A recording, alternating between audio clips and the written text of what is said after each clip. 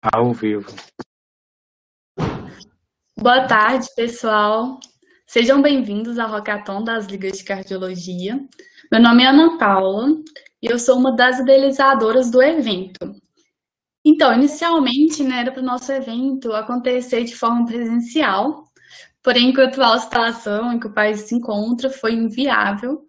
Mas nós esperamos que mesmo assim vocês gostem muito, porque nós organizamos tudo com muito carinho.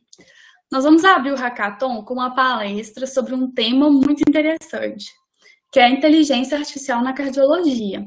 E para isso, nós convidamos um profissional muito renomado na área, que é o Dr. Luciano Frontino de Medeiros. Doutor Luciano, obrigada por aceitar nosso convite. Estamos imensamente felizes em recebê-lo aqui hoje. E antes de começar, eu vou falar um pouquinho sobre o extenso currículo dele para vocês. É, Dr. Luciano, ele é doutor em Engenharia de Gestão do Conhecimento, ele é mestre em Informática, atualmente ele é professor permanente do, do programa de pós-graduação em Educação e Novas Tecnologias é, do Centro Universitário Internacional Uninter, ele é líder do grupo de pesquisa de simuladores computacionais e robótica educacional. Foi professor visitante né, da Universidade Politécnica de Madrid.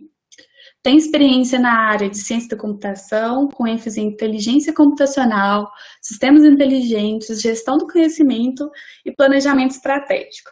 Ele é pesquisador também da Fundação Wilson Pliquet de Amparo à Educação, Ciência e Tecnologia. Tem muito mais coisas, mas eu vou falar só isso por enquanto. E agora eu vou passar a palavra para o doutor Luciano. Ok, muito obrigado, Ana Paula. É, para mim é uma satisfação muito grande estar aqui com vocês, fazendo a palestra que deixamos intitulada como a inteligência artificial na cardiologia. Né, e é uma satisfação participar aí do primeiro Congresso Brasileiro de Novas Tecnologias em cardiologia. Eu quero parabenizar aí os organizadores, a você, Ana Paula, ao Vinícius Reis também, a todos os outros organizadores aí que estão por trás para fazer esse evento com altíssima qualidade. E eu espero que com a minha palestra eu possa trazer um pouco do que está sendo desenvolvido aí nos últimos anos com relação à inteligência artificial e tentando trazer um pouco para a área da medicina cardiológica, que é um, uma das áreas onde nós podemos encontrar uma série de trabalhos, uma série de pesquisas sendo desenvolvidas e que tem sido muito interessante como a aplicação que, que, que tem sido feito é, de, de, uma maneira assim bastante extensa. Nós temos condições aí de pesquisar nas bases de dados e ver uma série de trabalhos sendo desenvolvidos aí nessa área, além de outras, né, como é, está sendo aí de costume a gente encontrar a inteligência artificial realmente se disseminando na comunidade científica de uma maneira bastante significativa e trazendo aí é, é, bons resultados com relação a isso, né, considerando a inteligência artificial como uma tecnologia, como uma nova tecnologia,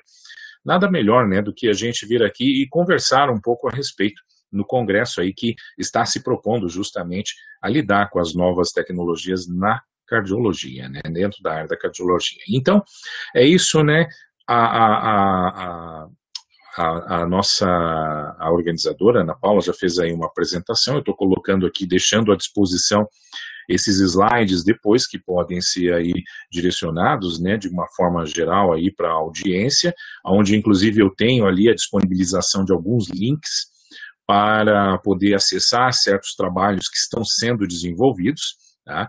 e eu coloco aí que uma das, das, da, das minhas obras mais atuais é justamente a de inteligência artificial aplicada. É, eu posso dizer que eu já estou trabalhando aí há mais de 20 anos, né, fazendo pesquisas dentro da área de inteligência artificial. De uma maneira geral, é, em várias áreas, de uma forma mais determinante na área de redes neurais artificiais, que hoje, né, ela acaba desembocando nisso que nós estamos aprendendo nessas novas áreas que acabaram surgindo, que é a área de aprendizado de máquina, o machine learning, e também a área de aprendizado profundo, aonde a gente costuma até nem falar em aprendizado profundo, nós puxamos o próprio termo em inglês, né, deep learning, que acaba daí sendo mais fácil, né, machine learning, deep learning, é muito melhor assim para a gente até é, é, é, explicar algumas coisas né, que estão aí acontecendo dentro dessa área. Né? É, uma das minhas, um dos meus primeiros trabalhos foi justamente a reconstrução de imagens de tomografia computadorizada com redes neurais artificiais. Ainda em 2013, ele foi aí um, um esse artigo que eu estou colocando para vocês foi um produto a partir da, da, da, do meu mestrado, né, que eu desenvolvi na, da, na Universidade Federal do Paraná, na área de informática, e ele já foi um, um, digamos assim, um trabalho que hoje ele se encaixa muito bem dentro da perspectiva de Deep Learning. Né? O Deep Learning, é, nós temos é, camadas de redes dentro do processo de construção das redes neurais de Deep Learning, onde certas camadas elas já são pré-programadas, né? elas já são, digamos assim, é, é, é, configuradas, parametrizadas de forma a ficarem fixas. Então, é, nós na época, nós conseguimos fazer a reconstrução a partir das imagens de projeções de imagens de tomografia e é, fazendo isso diretamente em uma rede neural, sem necessitar de algum outro algoritmo, o que até foi um trabalho depois interessante que nós demos continuidade para poder fazer, por exemplo, a construção, a reconstrução de imagens 3D a partir de vários slices que nós pudéssemos fornecer, dando aí bastante produtividade na a reconstrução da imagem propriamente dita, né? Então, é, foi um trabalho bem interessante. De, de, vez em quando aparece uma ou outra citação dele de hoje, né? E de certa forma a gente já estava meio sintonizado com essa ideia do deep learning que acabou vindo um pouquinho depois ali em 2006, 2007 nós temos aí os primeiros trabalhos de deep learning já aparecendo, né? E a gente pode dizer que já está um pouquinho sintonizado aí com essa ideia. Bom, o que, que eu tenho, o que, que eu tenciono nessa pequena conversa, nesse pequeno tempo que nós temos aqui para conversar sobre essa área tão vasta, né? Eu pretendo falar um pouco aí de conceitos, de definições relacionados à área de inteligência artificial e também fazendo uma ponte com os avanços que nós temos da IA com relação aí a algumas áreas que têm acontecido. Eu também pretendo falar um pouquinho né, dessa sub-área da inteligência artificial que vem a ser as redes neurais artificiais e falar como ela é uma das um dos ramos bastante prolíficos em termos de produção científica, em termos de pesquisas, e isso é, entre várias áreas, nós podemos falar também, né, vou falar um pouco sobre processamento de sinais, na realidade muito pouco, né, só o relacionado é, aí realmente com a parte de redes neurais artificiais, porque a área de processamento de sinais, ela sempre andou um pouquinho junta com essa área das redes neurais artificiais, e aí, detendo um pouquinho mais a respeito de Deep Learning, né, o nosso aprendizado profundo, e a ideia também é elencar algumas pesquisas que estão sendo feitas, né, já a, a, de, de, de, de, algum tempo, a respeito aí de, dessa inserção do Deep Learning na área de, de, de cardiologia, né, especificamente, ok? Muito bem. A gente pode dizer que a inteligência artificial ela não é uma área tão nova, né? A gente pode afirmar que ela já está uma área com seus 70 anos, né? Isso aí, no, na perspectiva científica, é, digamos, ela acaba por ser uma ciência bastante jovem, mas ela tem, nós podemos dizer que ela tem se notabilizado aí no século XXI, né? Porque ela, em função de, de uma convergência de avanços que tem acontecido, né, dos avanços tecnológicos que nós temos tido aí nos últimos anos, nós hoje conseguimos fazer máquinas inteligentes, construir máquinas inteligentes, dispositivos inteligentes. E a inteligência que antes era algo né, é, é, que era uma primazia do nosso cérebro, da nossa mente, hoje nós já conseguimos é, fazer abstrações a respeito de certos mecanismos da maneira como eles acontecem né, dentro da nossa mente, dentro do cérebro, e mesmo até né, dos seres vivos, e colocamos isso em máquinas, colocamos isso em algoritmos. A gente não se dá conta, mas a quantidade de dispositivos que estão aí impregnados de inteligência artificial à nossa volta são muitos. Né? Nós não, não nos damos conta, mas o nosso celular tem muita inteligência artificial colocada lá dentro. No instante em que nós fazemos uma pesquisa para poder saber um determinado endereço, colocando ali no GPS, para poder é, fazer uma rota, ou na hora em que nós é, falamos com o celular para dar algum comando ah, ou algum é, processamento que é feito internamente, a gente até não se dá conta, porque acabou ficando transparente né, a inteligência artificial para nós em vários dispositivos. E nós podemos falar que isso também já está impregnado nas tecnologias mais novas dos eletrodomésticos, tá? automação residencial também, que tem acontecido um avanço bastante grande, e Quanto mais, então, falar naqueles dispositivos mais técnicos, né, ou dispositivos, ferramentas que são utilizados para também fazer a produção de pesquisa e, de forma geral, até os nossos próprios computadores. Então, muita coisa tem sido transparente, mas nós estamos já utilizando a inteligência artificial de uma forma muito significativa e a tendência é utilizarmos cada vez mais.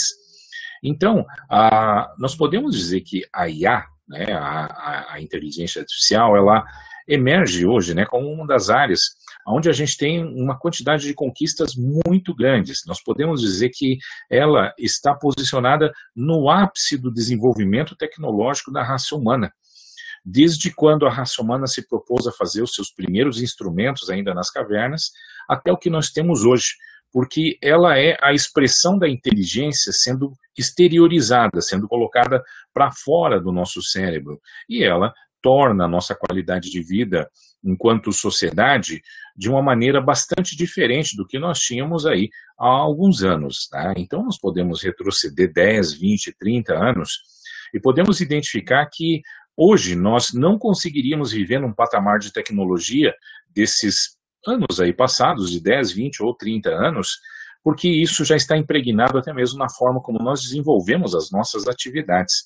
Então, de certa forma, nós estamos dependentes da tecnologia. Até nós temos alguns alunos né, que falam, professor, como que a, a, a, nós vemos nos filmes de Hollywood a, a inteligência artificial daqui a um tempo dominando os seres humanos, chegando num futuro, num futuro onde nós temos aí é, um futuro pessimista com relação àquilo que a inteligência artificial pode se tornar, inclusive grandes cientistas aí falando, como Elon Musk, como é, Stephen Hawking, né, o falecido Stephen Hawking, é, que realmente temiam que a inteligência artificial fosse de se desenvolver a tal forma que ela iria, em determinado, em determinado ponto aí no futuro, subjugar a raça humana.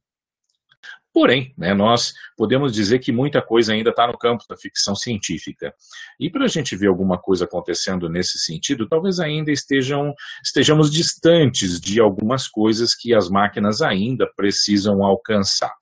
Mas a, a, a evolução que nós temos hoje já permite que muita coisa seja diferente. O que nós podemos dizer é que a inteligência artificial, ela talvez, né, a gente ainda está em dúvida de que ela venha subjugar a raça humana.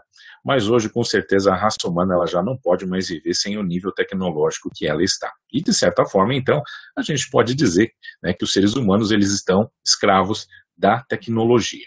Né? De, de, certa maneira, nós podemos, então, afirmar isso. Uh, que características que nós podemos dizer de uma forma geral, quando nós falamos dos dispositivos de inteligência artificial, é, que tem com relação a outros dispositivos até mais simples? Então, nós podemos afirmar que a inteligência artificial ela tem aí uma forte ligação com a capacidade de resolução de problemas. É, nós criamos dispositivos, nós programamos algoritmos para resolver problemas. Então, a resolução de problemas geralmente passa por aquelas tarefas que o ser humano não consegue até fazer de uma forma muito natural. Né? Nós, naturalmente, nós classificamos as coisas na nossa realidade, nós categorizamos e essa capacidade de categorização, de classificação, nós podemos dizer que as máquinas hoje conseguem fazer com um determinado nível de acurácia, com algum nível de precisão, inclusive, né? em alguns casos até melhor que os seres humanos. Porém, elas ainda são bem localizadas, elas não conseguem trabalhar de uma forma mais abrangente. Sempre que nós falamos a respeito da inteligência artificial, as aplicações, elas são realmente bem específicas, elas são bem direcionadas para determinada área. Na história da inteligência artificial, os aspectos de generalização de uma solução para várias coisas, eles não tiveram muito sucesso. Né? É, praticamente, aquelas soluções que são tratadas de forma específica, essas é que são realmente é, é, é bastante promissoras e sempre deram alguns resultados. Uma outra característica também é a questão do aprendizado com o ambiente. Por que o aprendizado com o ambiente? Porque essa é uma das características que realmente diferenciam as máquinas que têm inteligência artificial de outras máquinas. A capacidade de aprender. E ela aprende com o seu entorno, aprende com os dados, com as entradas, com os sensores que nós disponibilizamos os, ali nos dispositivos e, de certa forma, ela começa a fazer a sua atuação de maneira bem direcionada, de uma maneira customizada para aquilo ao qual ela se propõe. E o aprendizado ele tem essa característica de ser individualizado, de ele é, é, acontecer de forma pontual e por isso que um determinado dispositivo ele pode é, aprender bem sobre determinadas características e aí, em função disso, ele pode vir a fazer inferências posteriores. Então nós conseguimos colocar, né, nós como seres humanos, conseguimos colocar numa máquina, num dispositivo, a capacidade de aprender sobre o seu ambiente. E isso torna o seu funcionamento bem melhor, bem mais é, é, é, flexível, né, de uma forma até que ele consegue se atualizar com relação a mudanças que vêm acontecer nesse ambiente, e essas máquinas acabam sendo bem mais adaptadas à forma como nós estamos lidando com as coisas, com as situações do nosso dia a dia. Nós podemos dizer também que há o desenvolvimento de estruturas cognitivas, e, com certeza, esse aprendizado ele precisa ficar armazenado em algum lugar, em algum dispositivo. Então, hoje, nós abstraímos, né, do, do, com relação àquilo que nós temos nas nossas redes nervosas, abstraímos o, o conceito de neurônio, e nós temos os neurônios artificiais que permitem com que esse conhecimento seja armazenado dentro das máquinas, dentro dos dispositivos. Então, de certa forma, o desenvolvimento de estruturas cognitivas, que era algo eminentemente humano, também a gente pode dizer que isso está acontecendo artificialmente dentro dos dispositivos que têm inteligência artificial. E essa questão de orientação a metas e objetivos, ou seja, você tem alguma coisa em mente quando você quer resolver um problema onde você tem à mão alguma inteligência artificial. Então, há sempre essa orientação a metas e a objetivos.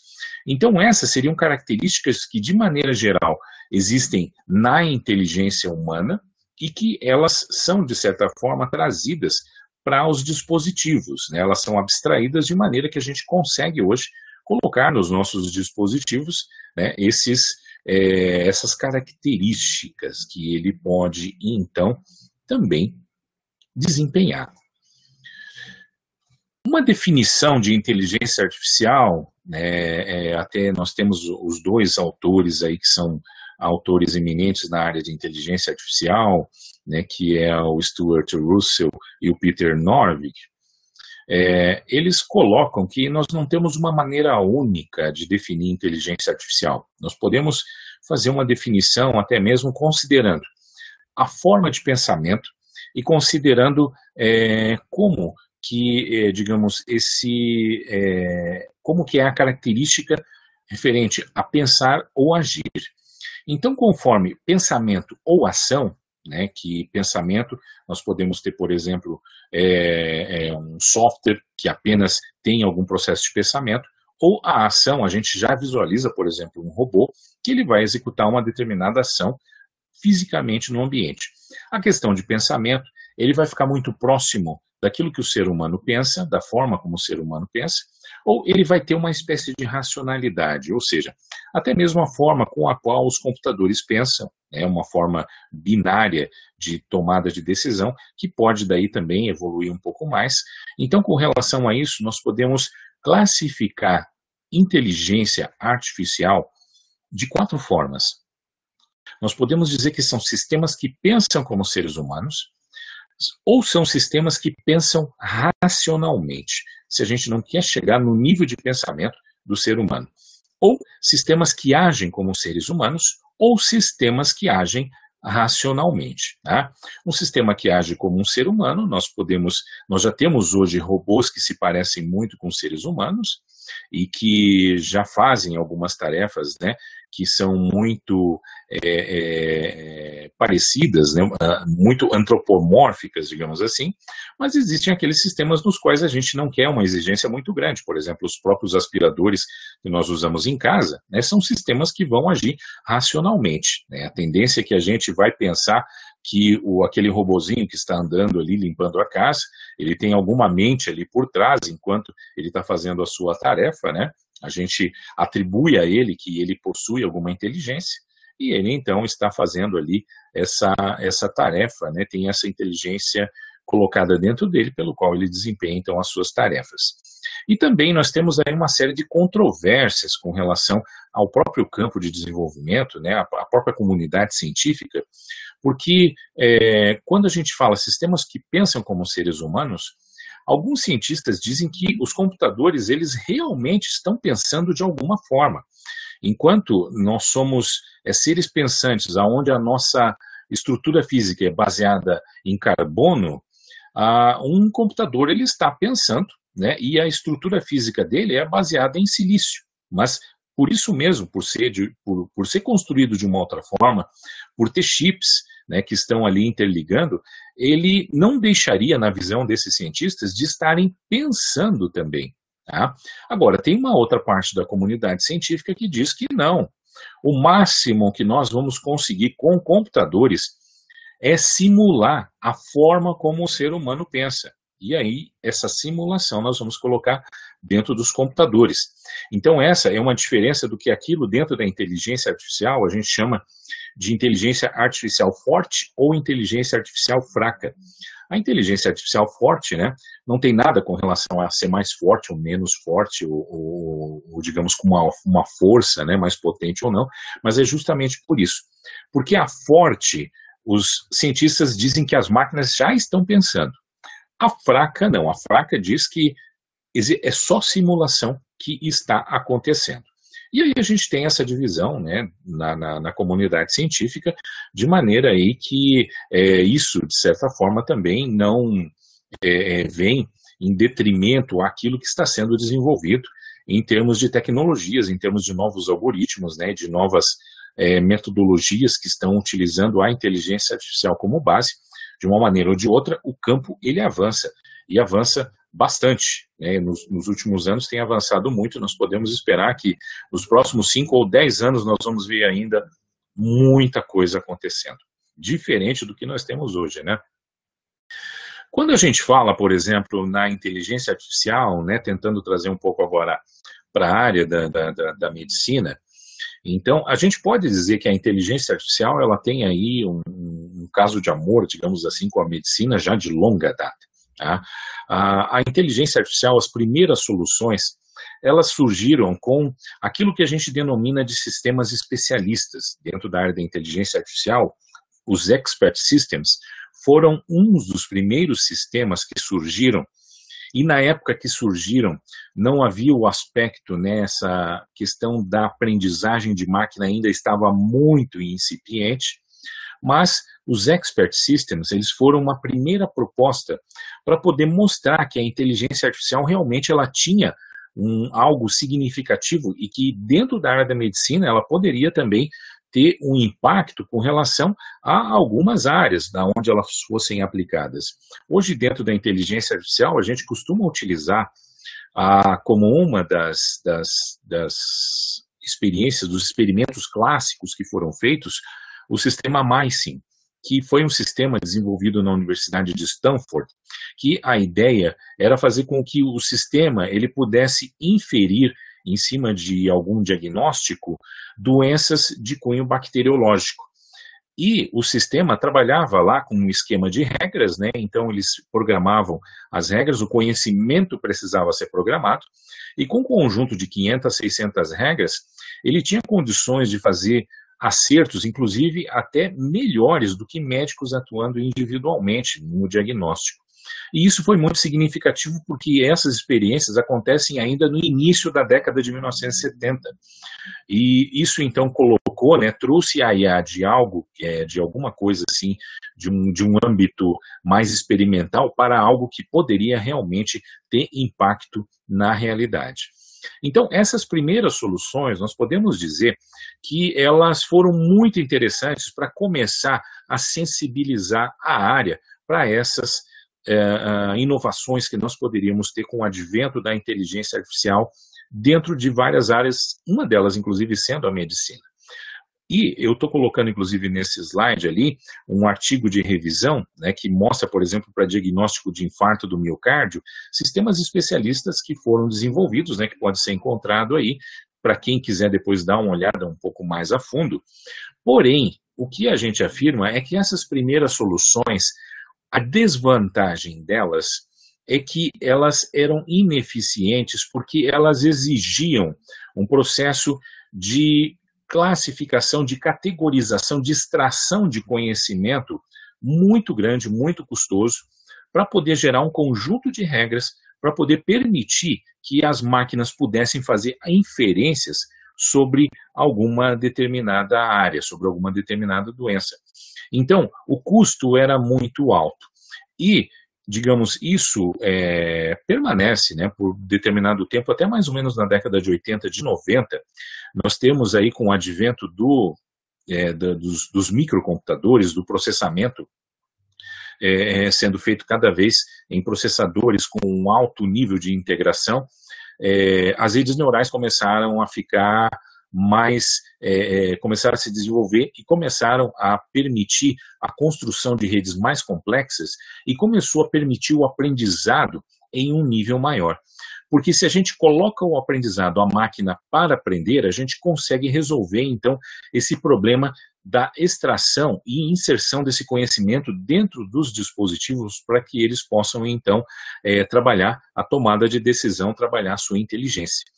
Então a gente tem dentro desse aspecto, né, essa, a inteligência artificial, ela sempre foi, digamos assim, é, é uma, uma solução né, no, no, nos anos finais ali do século XX, mas com o século XXI é que realmente a gente consegue ter esse grande avanço acontecendo, né, e hoje a gente já pode ver aí muitos dispositivos né, sendo colocados e alguns estudos, inclusive bastante aprofundados, com relação a esses aspectos. Então, tá aí, né? A inteligência artificial no século XXI realmente ela muda o quadro, né? Ela traz uma mudança de paradigma. Uh, nós podemos dizer, como eu afirmei para vocês, há uma convergência de coisas acontecendo. E vocês devem estar vendo né, que a gente está falando de inteligência artificial e muitos dos conceitos que provavelmente nós estamos aí tratando hoje, eles já existiam há muito tempo. As redes neurais artificiais, elas já são lá da década de 60, para vocês terem uma ideia. Porém, naquela época, não se tinha tecnologia para poder fazer a implementação disso. E só ali no final do século XX, no início do século XXI, é que nós conseguimos ter máquinas apropriadas para poder fazer esse processamento acontecer. Né?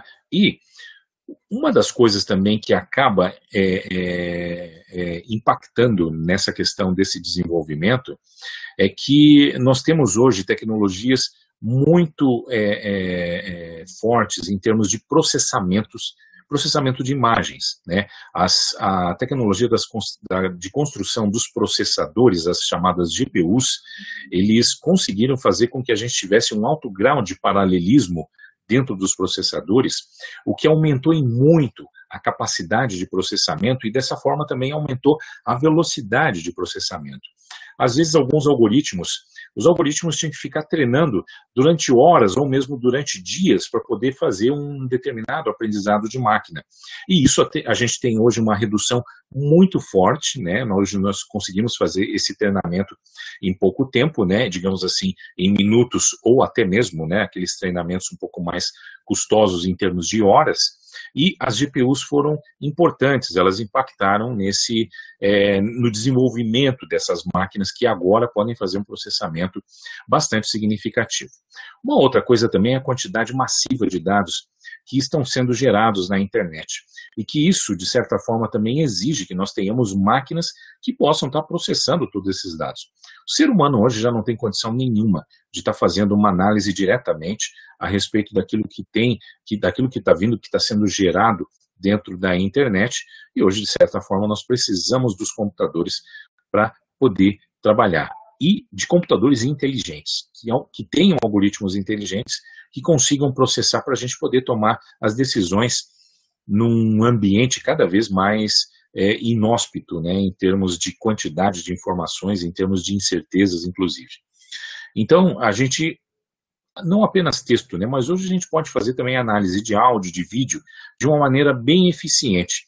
E aí nós, em função disso, nós podemos ter aí diferentes tecnologias que podem surgir e hoje até a gente pode colocar essas tecnologias dentro dos dispositivos que não apenas eram computadores possantes há alguns anos atrás, mas até mesmo dentro dos celulares, né, dentro dos notebooks, hoje a gente já consegue fazer aí um processamento bastante adequado. Então, o quadro que a gente tem é muito positivo nesse nosso início de século XXI e a tendência é ficar cada vez mais. Né? Não podemos esquecer aí que hoje o paradigma da computação é, já está em transição, nós vamos daqui a pouco chegar aí aos computadores quânticos e eles vão ter uma capacidade maior de processamento, inclusive, e isso pode mudar o quadro daqui a 5, 10 anos, a gente pode ter alguma coisa bem diferente acontecendo aí dentro da área de tecnologia. Hoje nós podemos falar, inclusive, da inteligência artificial aumentada. Por que aumentada? Porque a gente já não pensa na inteligência artificial fazendo a coisa sozinha, fazendo uma tarefa, né, tendo que resolver algum problema de maneira solitária. Tá? Há essa espécie de parceria. Porque o ser humano, né, a gente pode dizer que ele ainda é bom em algumas coisas, em tomadas de decisão. Então, a inteligência artificial, ela sendo boa numa capacidade de processamento, de velocidade, de tomada de decisão em determinados âmbitos, então isso enseja é, o surgimento de uma parceria homem-máquina. Né? Então, alguns até falam, alguns cientistas, né, como Ray Kurzweil, por exemplo, ele fala a respeito da convergência que pode acontecer da singularidade, do surgimento no futuro de uma singularidade, onde o ser humano e a máquina eles vão estar é, totalmente mesclados, né? O ser humano vai poder, a partir de interfaces, é, fazer com que o seu cérebro seja conectado diretamente a dispositivos e começar a fazer coisas e pensar junto com a máquina, então há esse aspecto da singularidade. Mas a gente não precisa nem chegar tanto ainda, né? A gente pode falar em termos dessa parceria. E existe um foco na questão do papel assistivo que a inteligência artificial pode ter. E aí isso pode realmente a, a, agregar muito as tomadas de decisões. Hoje é, é, nós podemos, por exemplo, né, em várias áreas, é, por exemplo, a própria medicina, a, a própria área de direito, né, a tomada de decisão com um nível de informações já bastante direcionado a partir de um assistente inteligente, já pode, é, é, digamos assim, facilitar muito o caminho, facilitar muito a, a, a, execução de determinadas tarefas dentro dessas áreas. Então, a inteligência artificial ela é muito boa nessa questão da redução dos erros e o desenvolvimento desse trabalho que seria rotineiro. Né? Então, ao invés de ocupar uma pessoa num trabalho que seria de rotina, né, a própria inteligência artificial pode se encarregar de fazer isso. Pode melhorar a interação com clientes, os serviços para os cidadãos, né, e cuidados aí com os pacientes de forma geral, dentro da área de saúde. Uma coisa bem interessante que nós estávamos comentando, né, até a respeito da robótica dentro da medicina, o robô, quando está, a, a, o robô na realidade, ele não desenvolve a tarefa de maneira autônoma, né, por enquanto ainda não, né, mas ele não desenvolve de forma autônoma. Ele é comandado ali pelo cirurgião que faz ali a movimentação necessária. E uma coisa muito interessante é que o robô, ele tem ali nos seus algoritmos até é, é, é, digamos, é, dispositivos na questão de segurança, porque caso, por exemplo, o, o cirurgião ele tem algum espasmo involuntário ali, né, em, em, algum movimento que ele faça involuntariamente, o robô filtra isso né, de maneira que ele não passa isso ali para o tecido, para a cirurgia que ele está ali desempenhando. Então, são coisas assim, são é, situações assim que a gente identifica agora, digamos, mais, é, digamos assim, um futuro mais a curto prazo acontecendo, né? A inteligência artificial sendo realmente assumindo um papel assistivo. E aí ela consegue dar esse papel de eficiência, mas a gente ainda não deixa de ter aquele toque humano nas tarefas, nas atividades, o senso comum, né, ainda estando presente ali, ou seja, nós não vamos é, largar diretamente para a máquina fazer tudo de uma maneira automática. Né? Mas isso é algo que, digamos, alguns têm uma posição, outros já acham que é questão de tempo até que a máquina venha a fazer algumas coisas realmente sozinha. Tá?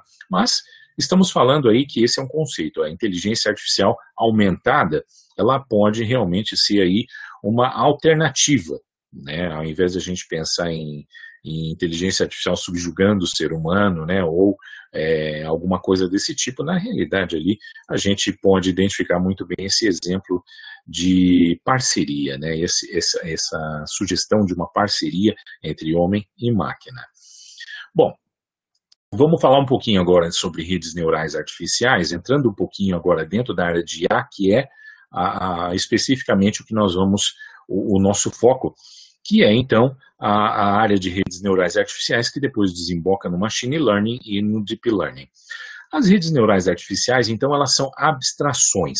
A gente pode dizer que nós, quando criamos os algoritmos, a gente abstraiu do neurônio aquele é, comportamento que o neurônio tem de fazer a geração lá do spiking a partir da, da, da, da alimentação de, de, de, sinais que acontecem nos seus dendritos, e depois ele faz esse spiking acontecendo ali através do seu axônio.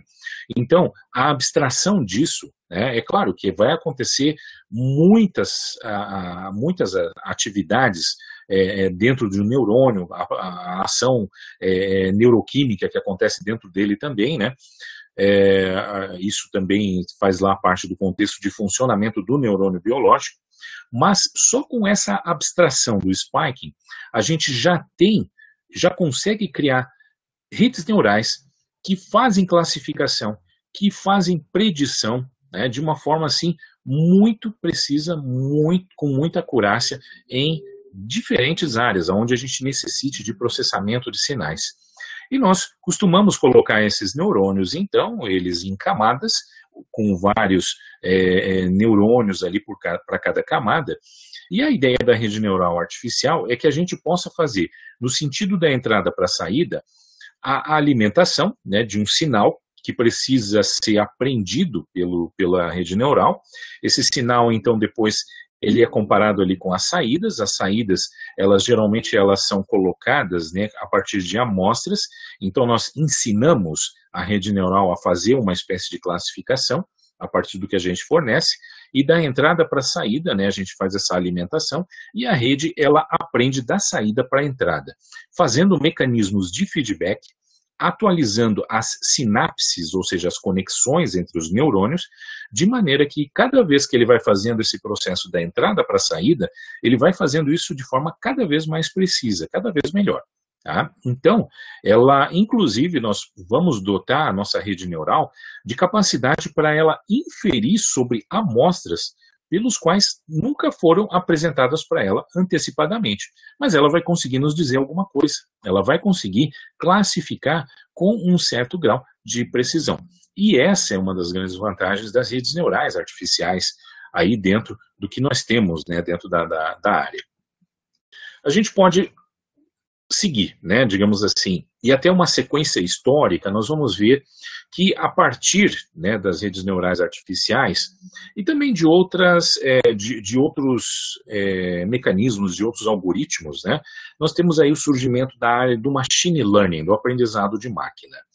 É, até algumas áreas, né, por exemplo, na própria estatística, né, o pessoal até fica um pouquinho bravo quando a gente fala a respeito do machine learning é, se, ter surgido aí com a questão das redes neurais, porque antes em estatística a gente tinha também alguns algoritmos que faziam o aprendizado. Tá?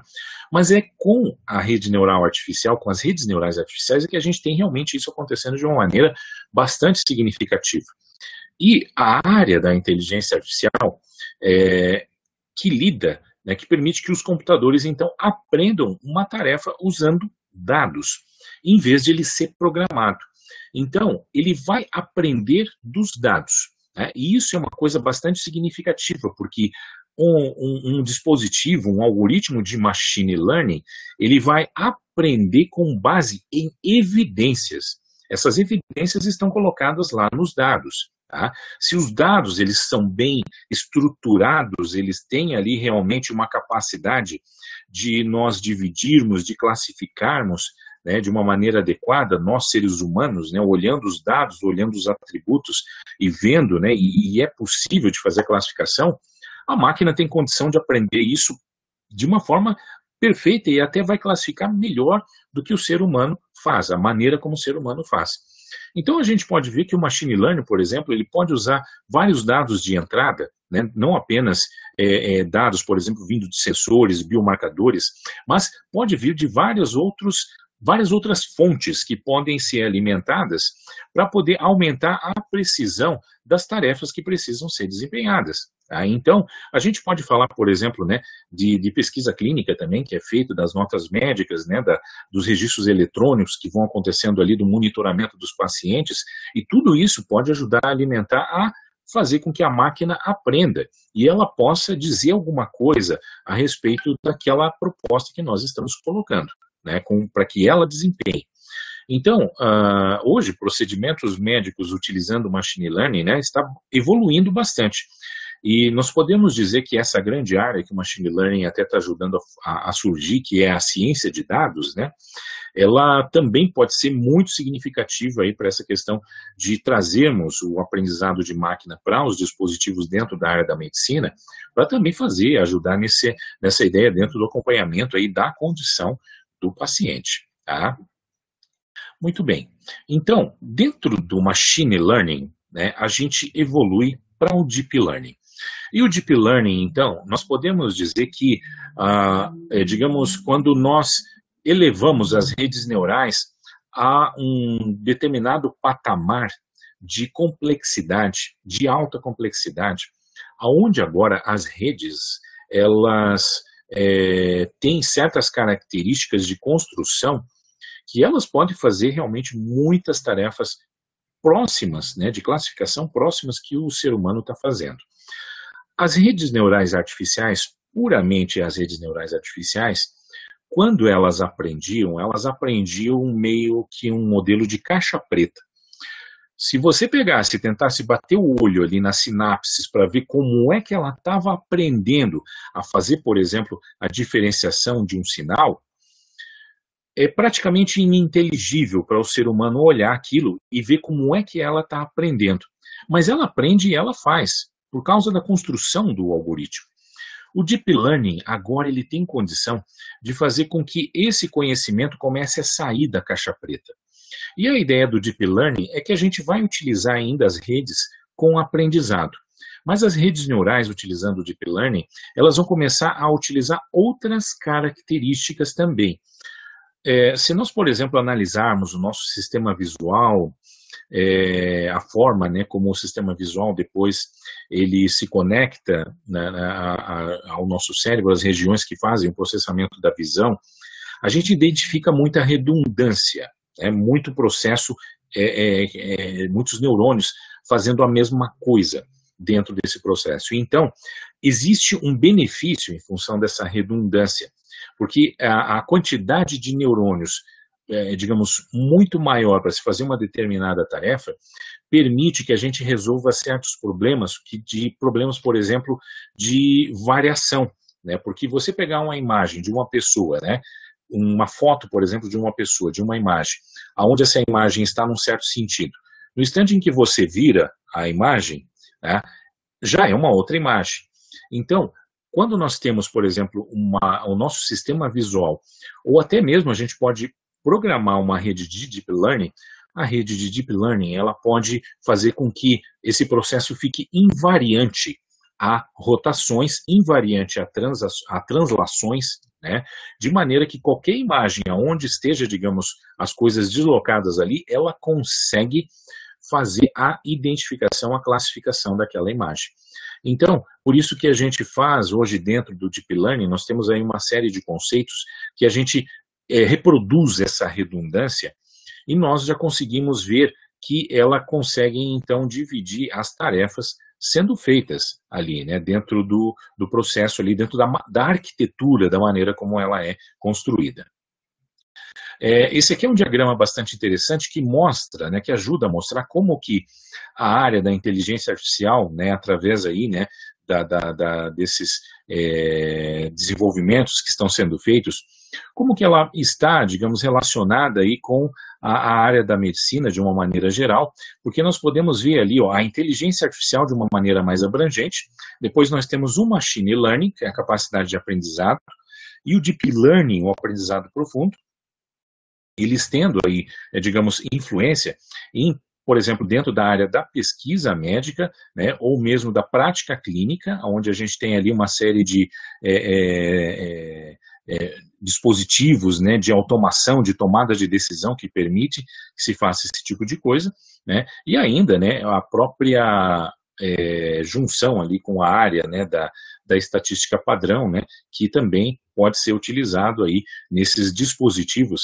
que daí eles são construídos de uma forma híbrida, né, que tem conhecimentos, então, de várias áreas aí que vêm e contribuem para esse uso. Então, esse, esse diagrama aqui, inclusive eu deixo citado aqui, né, o, o artigo da onde ele foi colocado, né, para que ele mostre aí como é que o Deep Learning hoje ele está aí dentro da medicina cardiovascular, como que ele está inserido de uma forma geral nesse campo. Então, o conceito de rede convolucional é uma das redes mais utilizadas hoje em Deep Learning. Quando vocês verem ali a sigla CNN, né, é, essa sigla se refere, então, à rede neural convolucional, que é justamente essa rede que trabalha com esses aspectos de invariância, que usa muito da sua arquitetura para tirar vantagem aí da estrutura espacial de onde as coisas estão, então, colocadas. E existem várias ideias que são, inclusive, né, é, abstraídas da forma como a gente trabalha, por exemplo, no processamento do campo visual, por exemplo, campos receptivos locais, pesos compartilhados, camadas de aglutinação. Então, nós temos toda essa diferenciação dentro de uma rede de deep learning, que é essa rede, a CNN, a rede convolucional, que ela permite, então, o aprendizado de diferentes tarefas, ok? Uh, existem diferentes formas de nós treinarmos uma rede neural. Uma das formas mais utilizadas é a aprendizagem supervisionada. A aprendizagem supervisionada a gente pode traduzir como aprendizagem com um professor. Tá? Então, a, a rede, o que, que vai acontecer? Nós temos dados pré-classificados. Tá? Por exemplo, nós temos aqui uma rede, né, um, uma, uma, uma rede neural, uma máquina que precisa então ser treinada, e nós temos aqui, estamos fornecendo diferentes sinais né, de maneira então que ela vai ter que é, ver se aqueles sinais ali já significam, por exemplo, uma fibrilação atrial ou não indicam isso. Então, o que, que acontece? A partir de dados que já estão pré-classificados, ela vai ter condições depois de analisar aqueles dados de entrada e poder depois é, é, especificar sobre um determinado, uma determinada ação que esteja ali acontecendo. Tá? E depois o que, que acontece? A gente treina a máquina. E um momento posterior, nós vamos testar. E nós vamos testar com dados aqui, ó, que nós não colocamos durante o treinamento. E aí ela vai classificar de acordo com o nível de acurácia né, que a gente possa ter treinado, e ela pode depois dizer né, que é, realmente é, se trata de uma fibrilação atrial ou não, né, ou de repente pode acontecer alguma, algum erro de classificação. Mas a tendência é que quanto mais nós treinamos as redes, né, quanto mais nós vamos treinando, melhor ela vai classificando, com mais acurácia ela vai fazendo então as suas tarefas. Aqui só um exemplo também, mostrando como uma rede neural artificial, né, para fazer essa classificação, o que, que a gente faz? Na realidade, a gente alimenta depois os sinais de ECG dentro de uma rede de neurônios de entrada, e nós vamos alimentar de forma a, a que isso fique, digamos, é, é, nós, nós chamamos ali de alimentação no sentido temporal, né? Nós vamos alimentando a rede, e aí, em função dessa alimentação aqui que nós fazemos, ela vai treinando as camadas ocultas de neurônios né, vai é, é, moldando aqui as sinapses, de maneira que nós vamos ter depois dois neurônios, onde o neurônio de saída ele vai ser respectivo a, por exemplo, não ter lá a, a F, né, ou ter a AF, né, ter a fibrilação atrial. Então, inicialmente nós treinamos, né, e nós vamos colocar aqui é, casos que já existam, e depois nós vamos só colocar aqui o sinal sendo alimentado, e em função do aprendizado anterior, ela vai inferir se há ou não a fibrilação atrial acontecendo. Tem também a aprendizagem não supervisionada, que a aprendizagem não supervisionada não há, digamos assim, um professor ali por trás, né, ensinando. Então, a ideia é utilizar a aprendizagem supervisionada para fazer, digamos, uma, um, uma pré-classificação, uma classificação sobre dados, por exemplo, que estão sendo informados, que ainda não foram classificados, que ainda não há um, alguma classificação existente neles. Então, é, é, um, é um primeiro passo para poder fazer identificação de padrões. Então, existem algoritmos né, de aprendizagem não supervisionada, análise de cluster, por exemplo, né, que permite que se faça uma primeira pré-classificação, uma orientação a determinadas áreas, de maneira, então, que ela consegue depois ter digamos, uma divisão ali em regiões sobre determinadas características, determinados atributos que ele consegue, então, diferenciar. Então, aqui a gente pode dizer que ele é um aprendizado, mas ele é um aprendizado mais emergente. Vejam que tudo continua ainda acontecendo orientado a dados, né? mas é um aprendizado de uma forma mais emergente que acontece nessa questão da aprendizagem não supervisionada. E a gente tem ainda a questão da aprendizagem por reforço, que daí nós colocamos lá, por exemplo, o nosso agente, né, que ele precisa ter ali, a, nós, nós precisamos fazer com que ele aprenda sobre determinada tarefa, então esse agente ele vai escolher algumas ações e a partir do feedback dessas ações, nós vamos dizer né, que esse feedback ele foi positivo ou foi negativo, e ele começa então a reforçar aquelas ações nas quais ele teve um feedback positivo e começa a diminuir aquelas onde teve um reforço negativo. Ou seja, ele não aprende apenas num determinado momento, quando a gente faz ali com a rede supervisionada, mas ele vai aprendendo ao longo do tempo, utilizando a aprendizagem por reforço. É, aqui mostrando né, a respeito do impacto do design de redes Deep Learning na aprendizagem, então, geralmente, a aprendizagem, nós podemos é, representar ela como se fosse uma curva, e geralmente ela é uma curva, uma parabólica, onde nós temos, por exemplo, um conjunto de sinapses começando em valores altos, e na medida em que a gente vai fazendo o aprendizado acontecer, ela vem descendo até chegar num nível mínimo de erro. Né? Então, o mínimo de erro aqui ó, é, é aquilo que a gente deseja que ela aprenda.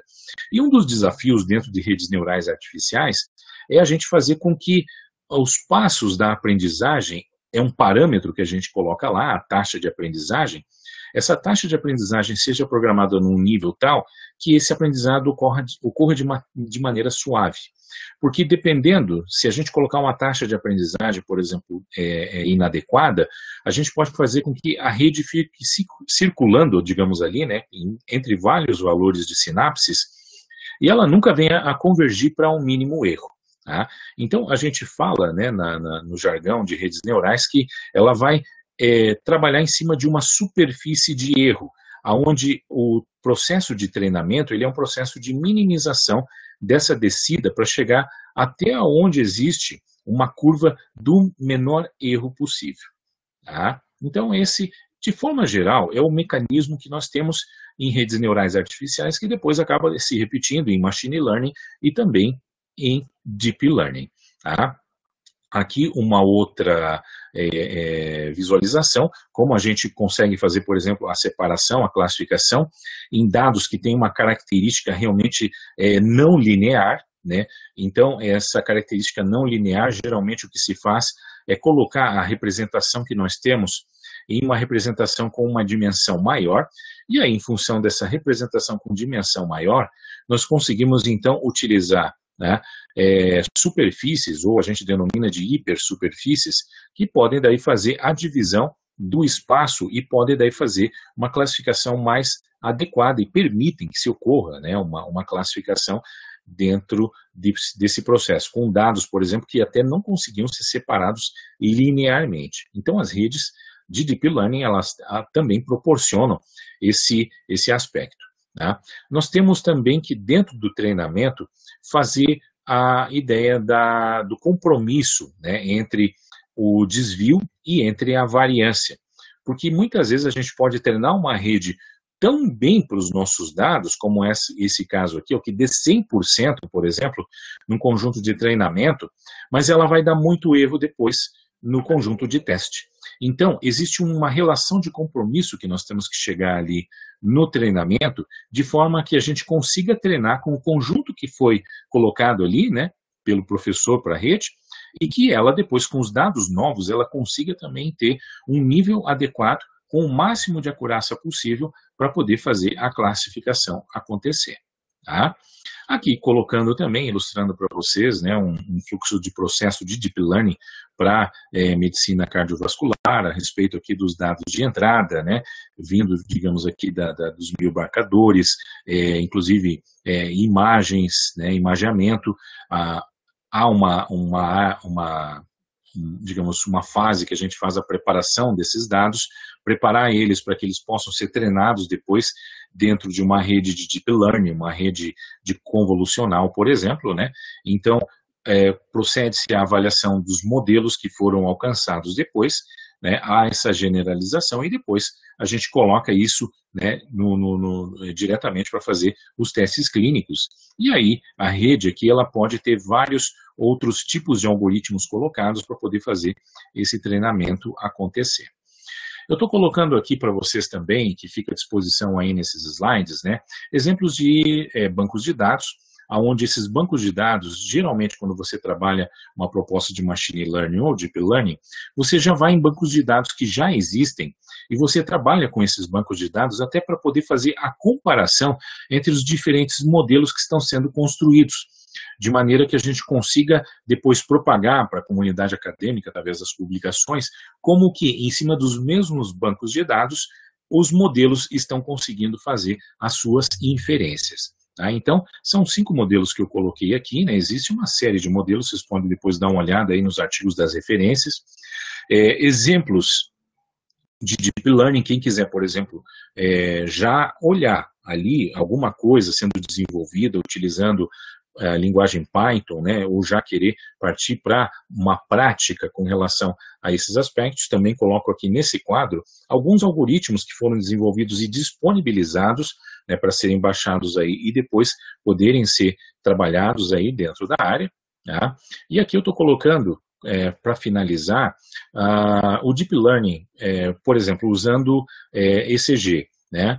diferentes trabalhos que foram feitos aí né, na, na, na comunidade acadêmica para diferentes aplicações, como detecção de arritmia, detecção de fibrilação atrial, classificação dos sinais né, do, do, do, do complexo QRS, do ST, segmentação LV ou segmentação RV, também coloquei aqui né, como que foram implementadas essas redes e o nível de acurácia que conseguiu se chegar com esses é, é, digamos, com essas aplicações. Então aqui vocês podem ver que realmente o nível de acurácia que pode ser alcançado, ele é realmente muito grande, muito significativo em alguns casos, né, a gente pode identificar aqui até chegando a 97, 98% de acurácia, o que realmente mostra que as redes são bastante robustas no sentido de classificação. E colocando aqui algumas considerações finais a respeito dessa palestra, que eu tive que fazer aí de uma forma bastante é, rápida né, para vocês, mas há então esse, essa tendência do desenvolvimento da inteligência artificial para inteligência artificial aumentada, no sentido de ter uma parceria homem-máquina para poder fazer o desenvolvimento das tarefas. Né? A computação de melhor performance, isso aí vai permitir que a gente tenha mais soluções deep learning em tempo real, né? o uso aí de GPUs, a disponibilidade crescente de bibliotecas com mais recursos e com flexibilidade de análise, inclusive incluindo aí imagens, né?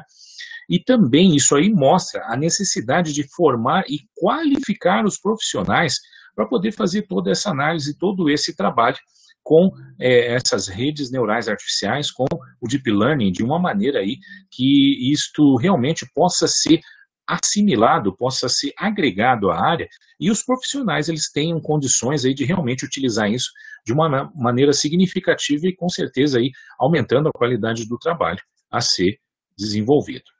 Tá? Aqui estão as referências, algumas das referências com os links, inclusive, e eu agradeço aí a vocês a oportunidade por fazer essa palestra aqui. Né? E fico aí à disposição né, do, do comitê organizador né, para alguma coisa, alguma pergunta. Doutor Luciano, obrigada mais uma vez pelo todo o conhecimento que você compartilhou aqui hoje com a gente. Foi muito enriquecedor a palestra. Devido ao tempo, eu vou selecionar o que foi mais questionado, assim, a gente teve várias perguntas e tudo, mas aí, assim, que eu vi que a principal questão foi a respeito de, dos pontos negativos que a inteligência artificial pode trazer, tanto para o paciente quanto, às vezes, para o próprio profissional médico, como, por exemplo, um desemprego ou algo do tipo. É, são questões né, que nós estamos aí face a, a, isso, né, que está acontecendo inclusive em outras áreas, né, mas uh, nós podemos dizer que como uh, esses acontecimentos recentes, né, primeiro vendo sobre essa questão aí dos aspectos negativos que pode acontecer, né, é, é, tudo é baseado em dados. Toda atividade que a gente faz ali utilizando redes neurais artificiais, deep learning, tudo é baseado em dados. Né? E é, se esses dados não são bem tratados, então não há uma rede neural que vá fazer, digamos assim, alguma, algum milagre para poder realmente fazer a sua tarefa de forma adequada. Então, o processamento desses dados, a preparação desses dados, realmente ela tem que ser muito criteriosa para que os computadores, para que os algoritmos possam nos dizer alguma coisa e possam realmente ser de utilidade. Tá? Com relação a essa questão, né, as pessoas sempre se preocupam com as máquinas substituindo os seres humanos. Né? Essa é uma pergunta que realmente vem aí é, é sempre quando nós falamos a respeito disso. Olha, é, forçosamente tende a acontecer, né, digamos assim, no curtíssimo prazo, essa substituição em função de que muitas vezes né, isso ajuda a reduzir custos. O problema é que há essa questão de formar é, é, recursos humanos é, em uma velocidade rápida, de maneira a dar conta da quantidade de novas funções que podem aparecer em função desse desenvolvimento da tecnologia.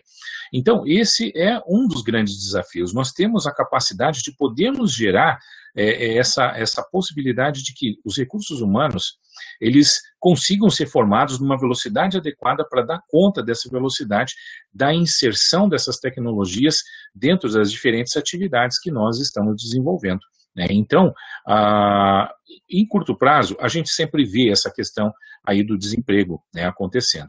Mas em longo prazo, nós vemos que há essa inovação acontecendo dentro da área e que demanda novas funções para serem feitas. Né? E isso, de uma maneira geral, tem que acontecer, porque senão até o próprio desenvolvimento da tecnologia não acontece de uma maneira adequada, da maneira como, digamos assim, a comunidade espera, né? Então, é dessa forma que a gente pode estar tá colocando isso, Ana Paula. Esses são desafios, né? Não há, digamos assim, uma resposta única fechada para isso, mas a gente sabe mais ou menos o direcionamento que isso tem que tomar. Entendi. Foi muito esclarecedor, doutor Luciano. Muito obrigada mais uma vez. A palestra foi ótima. E então, pessoal, nós estamos encerrando a palestra.